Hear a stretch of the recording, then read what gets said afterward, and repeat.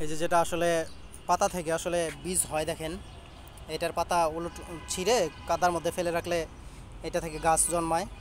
এই যে দেখেন, এই বড়ই গাছটার মধ্যে যে মুকুল আসতেছে, দেখেন কত ছোট একটা গাছ, এই যে এই যে মুকুল আসতেছে, এই যে দেখেন, এই যে মুকুল, দেখেন কত সুন্দর।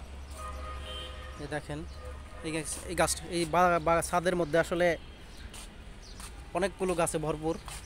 ওই যে দেখেন দেখেন পেঁপে আর পেঁপে। দেখেন। এটা আসলে অনেক উপরে। এই যে দেখেন, আমি দেখাচ্ছি। অনেক উপরে আসলে। এই যে দেখেন, অনেক উপরে।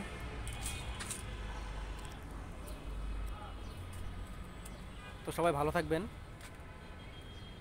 আল্লাহ হাফেজ। আর এরকম বাগান করার চেষ্টা করবেন ছাদের উপরে। তাহলে আমাদের আসলে সবারই জন্যই ভালো, যেটা আমাদের অক্সিজেনের ঘাটতি পূরণ করে শহর এলাকায়। ইনশাল্লাহ সবাই ভালো থাকবেন। আল্লাহ হাফেজ।